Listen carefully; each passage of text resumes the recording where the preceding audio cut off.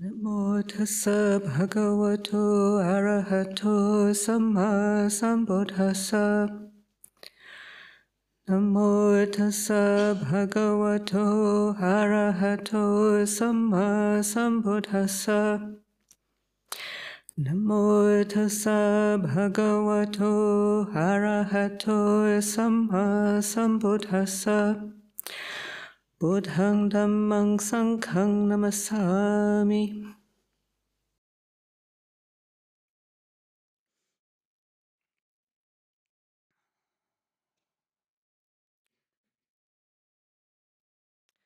So, venerable members of the Sangha, venerable members of the Sangha, sisters, and lay friends, uh, I feel very um, honoured to have been invited to offer a few words of reflection this afternoon on this incredibly auspicious occasion.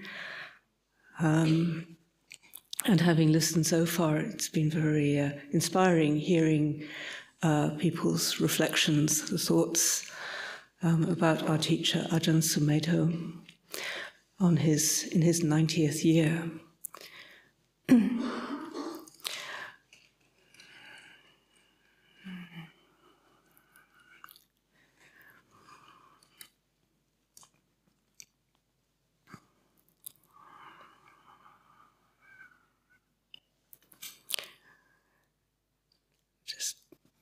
trying to think if there's anything I can add to what's already been said.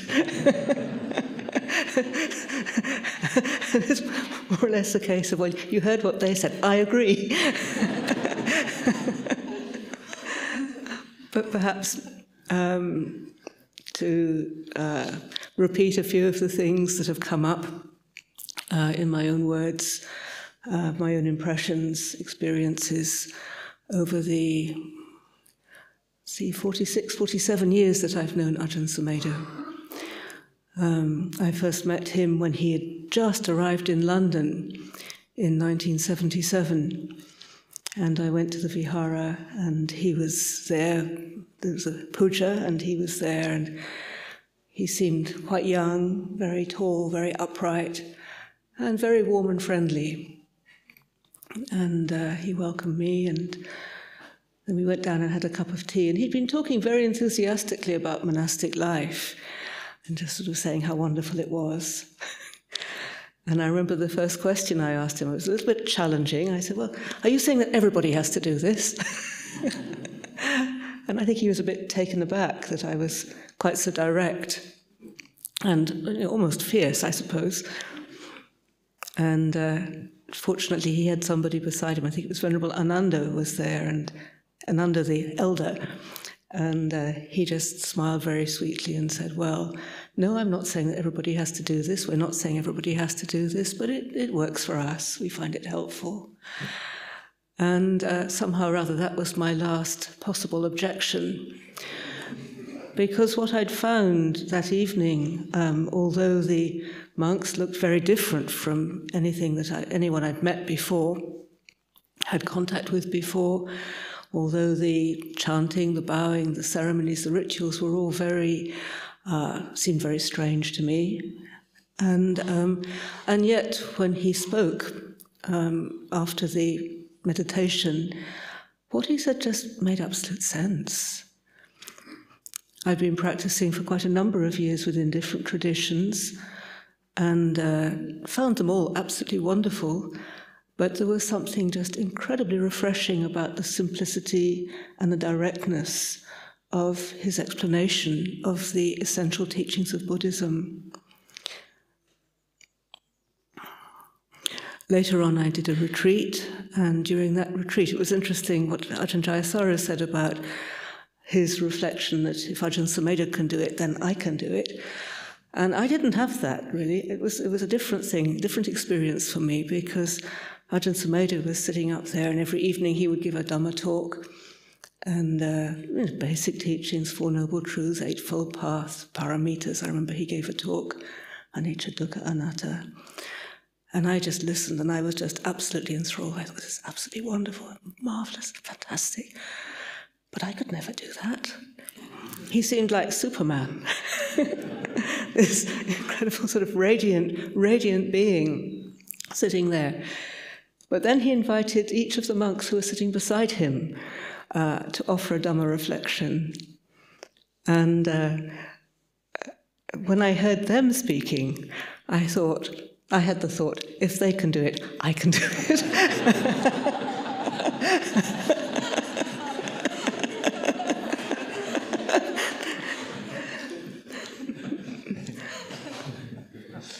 so it all began to seem much more accessible. During that retreat, he also um, spoke about Chithurst. They had a map on the wall with a little pinpoint where Chithurst was. They hadn't actually moved there at that point, but they were preparing to move. And this was obviously something that was terrifically exciting. It was really exciting because, well, they, they'd grown up in Thailand and come to London, living in London uh, through the winter times, particularly on a very, very busy street, uh, pavements, people, pollution, um, a lot of unpleasantness. Not, it wasn't like Thailand where everyone, you know, people are Buddhist, they know what a monk is, they know how to relate to a monk. They're eager to offer alms food. Um, I remember in, in the Vihara in Hampstead, you know, they had to send the anagarikas to the market to, to buy food because there wasn't, they didn't have enough food. And it was a very different situation. And so the thought of being able to move uh, to the countryside to have a proper forest monastery was, was very exciting. The fact that it was completely derelict was totally beside the point. it was the, the, least of their concerns, as far as I could gather. But during that retreat, one evening, Ajahn Sumedho was talking about this wonderful place that they'd acquired and that they were going to have a monastery and, and a real proper place where monks, people could come and they could train as monks. And then, almost as an afterthought, he said, and perhaps there'll be um, we might be even be able to have facilities where, where women can come and train as nuns. And uh, that was a very important moment for me. Um, and I kind of began to prepare myself to get to the first of the queue, to the front of the queue, because I imagine that everybody would want to do that. and uh, it was it was quite a few months later before they actually moved uh, to Chithurst. Um, but during that, in, in, the meantime, I'd um, been to the Vihara several times, and I went once for a late night sit. It was a full moon or something, and um, some of you may have heard this story. But anyway, I was I was there with a group of lay people and Ajahn Sumedho and other bhikkhus and uh, samaneras, anagarikas were there, and. Um, this woman arrived late, about 11 o'clock, I think she came, and her name was Pat Stoll. And she'd just come back from Thailand. And she had a tape recording that had been made by an, an American nun called Mechi Kumpha, who was a disciple of Ajahn Chah, who had been living at Wat Pah Nanachat and at Wat Pah Pong. And she'd made this recording to give to a Burmese family whose daughter was interested in Buddhism, I think. So, anyway, we listened to this talk, and uh, it was all about you know how it was to be a nun and things like that, and the life in Thailand. And Ajahn Sumedho looked at Rojan, looked at Pat, and looked at me, and he smiled. And he said, "That's our recruitment talk."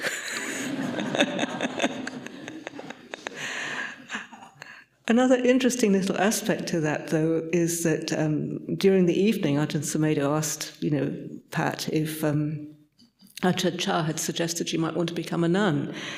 Uh, in Thailand, and she said no, um, no, because I'd already asked him if I could come to England and be ordained with you. And uh, Ajahn Sumedho looked a little bit surprised because Ajahn Chah had never mentioned anything of that to him. So Pat was going to be coming, and a little while later, I had permission to, to join the community as a, as a, as a nun. And Ajahn Sundara also dropped by for tea one day uh, at Chithurst and uh, decided to be a nun, and she's still here. and uh, then Thanissara arrived. So there were four of us.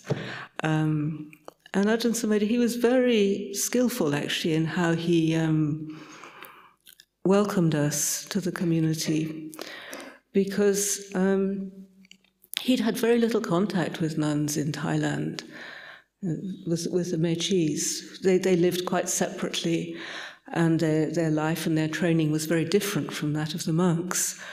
And so he, he didn't really know how to how to train us or anything like that. But he did. He, one of the things that he realized was that the uh, the mechis, the nuns in white, they, they did the cooking. So he said, "Well, just just keep your wash your white robes." And keep the eight precepts and the seventy-five Sekhiya rules, and you know, don't don't worry about anything else. Just just you know, live, and we'll. He didn't even say we'll see how it works out. He just that was it. That was what he knew. That was what he was prepared to offer at that time. And we were totally delighted. We had no particular ambition to do anything else. It was just really wonderful for us to be able to be part of this group and to be welcomed uh, into the community at Chithurst. Uh, with the with the um, I think it was about seven, six or seven monks and some anagarikas, and in this totally derelict house with Ajahn Sumedho right at the heart of heart of things, um, offering teachings, offering encouragement, um, all through the um, the whole building process. I mean, there was no money, so they couldn't really do very much building, but um, the whole community just took on uh, different projects to to gradually uh, repair the house. So it was very harsh conditions, very cold in the winter time, and the food was very simple. But the spirit was very joyful. And this was largely because we all loved Ajahn Sumedho. We were all happy to be there with him and inspired by his example, his encouragement, his teaching. And um, we had no thought of doing anything else. We came here in 1984. Um, by then, the community was a little bit larger. And by then, things were less straightforward because what had become, what became more obvious was the disparity between the, the monks and the nuns. You know, we were, we were we had just been ordained on 10 precepts. Ajahn Sumedho had decided after three years that it, was, it would be good if there were a possibility. Um, you know, he saw that we were very sincere in our practice, very enthusiastic about the practice, very committed, and that we were ready to um, be able to um, take the 10 precepts, to, to, to become alms mendicants. And he did a really remarkable thing in that he went to Thailand and he spoke with various elders and uh, to see whether there could be uh, an allowance for us to be ordained and to wear brown robes. Actually, we had a choice. We had a choice. We could have been pink or brown.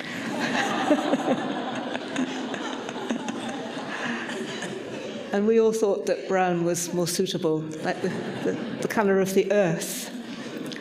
And so um, we took on the, the brown ropes.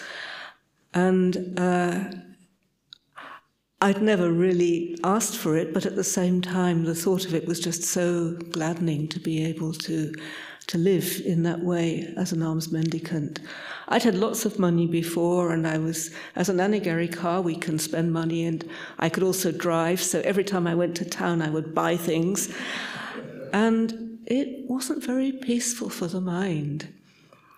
So to be able to just stop doing that and to be a bit more settled in one place, to focus on the uh, inner practice. Um, a different kind of service. I'd got very used to service, to you know, doing doing stuff. um, but the more, more, more focus on the inner practice was I really appreciated. And it was, as I said, quite a daring thing. Well, daring, that's not quite the right word, but quite bold to have taken that step at a time when um, really there was nothing like that um, available in Thailand. In fact, the first person who went to ask, I won't say who it was, but somebody had been before to check it out and came back with the answer, well, it's, it's not allowed, it's not legal. you, can't, you can't do that. But Ajahn Sumedho was very careful how he presented it and who he asked and how he asked. And so he was able to get the permission for us to, to become alms mendicants. so we had we were given alms bowls. That was part of our ordination ceremony, and um, it was a big big step for our community.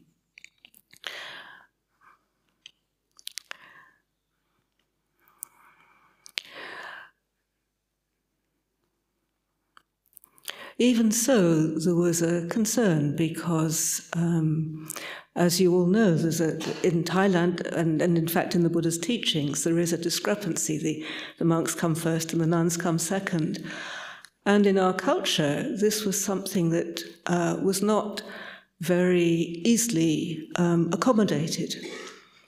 So we were in a funny position, uh, whereas in Thailand, for a nun to even have the slightest idea of being kind of equivalent to a monk was considered totally inappropriate. You know, who does she think she is? How dare she even imagine that she could be anything equivalent to a monk? That was the situation in Thailand. Whereas in the West, the idea of that the women weren't, that the nuns weren't, was absolutely shocking and totally unacceptable.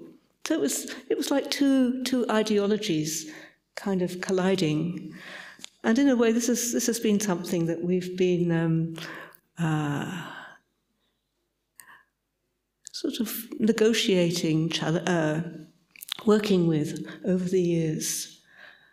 Um, and I think for Ajahn Sumedho, it's been um, also very, very challenging.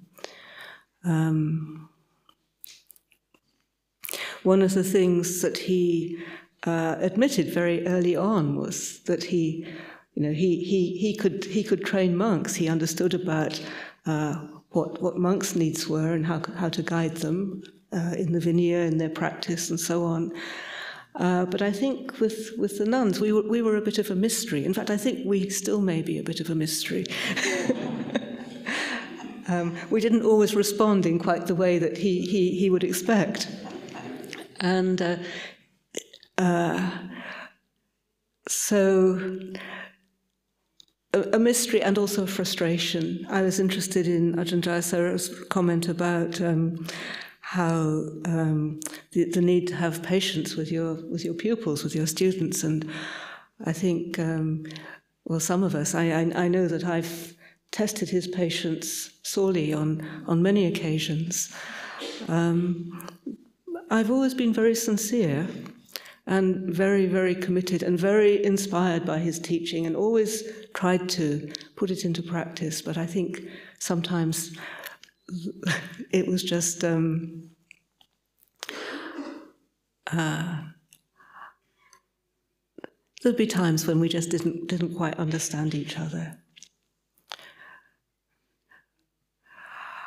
This does in no way uh, one, one of the things I was thinking when I was thinking about what I might say, um, I was reflecting on two, two, um, two um, teachings of the Buddha. One was, um, which has already been alluded to a little bit, was towards the time of the Buddha's demise.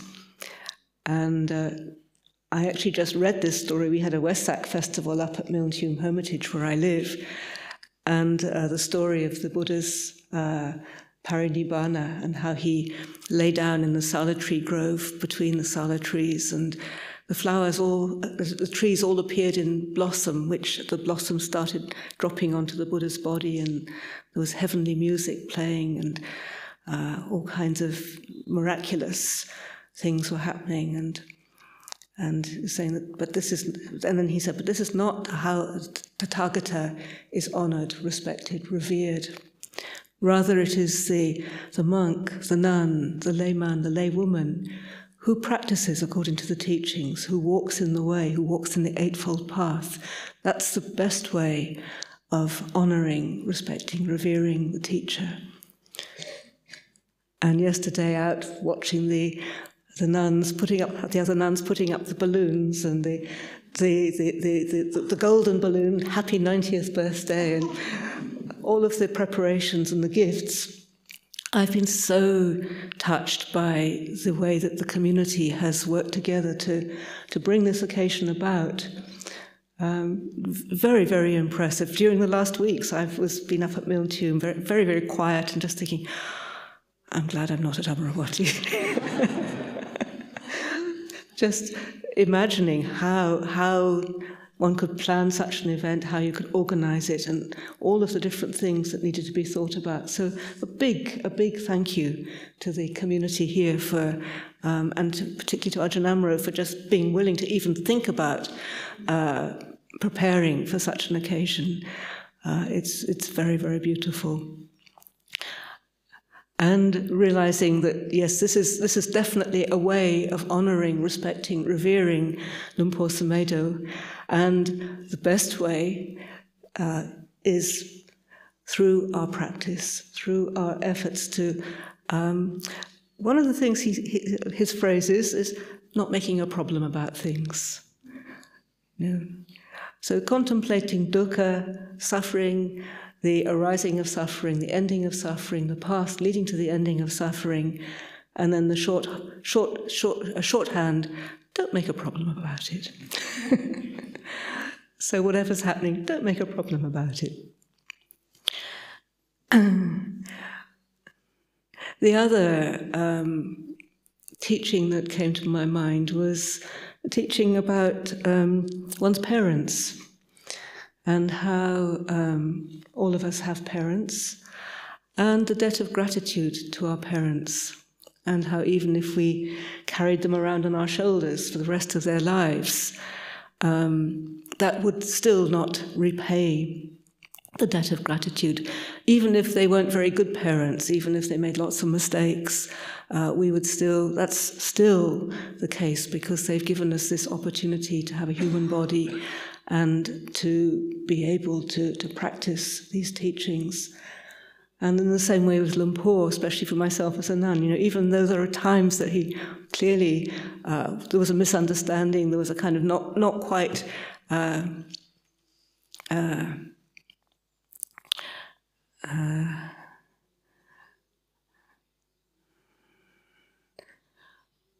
you know, one one could uh, criticize uh, different ways that he's responded to situations. Um, nevertheless, a, a, confidence that he, he did the very best he could. And that's the thing that I'm grateful for his integrity, his sincerity, and his absolute commitment to his own uh, awakening and to getting all of us to awaken as well. You know, that's, that's, that's, that's, that's his sole interest for us to awaken and to stop suffering. So, what, what more could one ask for? So, um,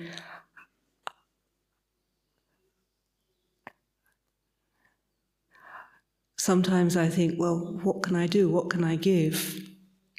You know, I would, I would like to be able to give something, but I realize, well, just my sincerity, my uh, integrity, my good efforts uh, to understand the suffering that I create for myself and to uh, bring about its cessation. This is what I can do. And just one little further thing. One of the things that I determined very early on, seeing Luang Por's generosity uh, in sharing teachings. I mean, he was he would give lots and lots of teachings in the community. We, we were thinking about this uh, yesterday. We had a, a, gathering with the former sisters, and uh, just recollecting how breakfast time would be this amazing event every day. And he would share his understanding of the teachings. We always found it very, absolutely, we were transfixed we would have gone on all morning if, if, we, if we could have done, um, just listening to him. and also his readiness to respond when people were really struggling with something. Um, a, a, very, a very remarkable sensitivity and kindness that would come through. Several of the former sisters mentioned this, and little story when I was in Thailand, I decided um, after quite a number of years of practice that I really needed to go to Thailand to get my practice, to get my meditation together. I didn't feel I could meditate very well, so I went to this monastery uh, to learn how to meditate. This was after about 20 years, I have to say, as a nun. and I was having quite a difficult time because the, the main focus was on concentration practice. And some of you may have heard Luang Por talking. He, he, he teaches much more a reflective way of practice. And uh, anyway, halfway through this time, this handwritten letter arrived from Ajahn Sumedho. And the monks, they, they, they saw this letter, they, they looked at this letter. Oh, he's written to Ajahn, uh, Ajahn Candasiri. Got a letter from Ajahn Sumedho, from her teacher. And they, they, they were rather impressed. anyway, I, I opened this letter and I can't remember, there's little bits of news about the monastery. And then the final sentence was, and I hope you're not struggling too much on account of jhana.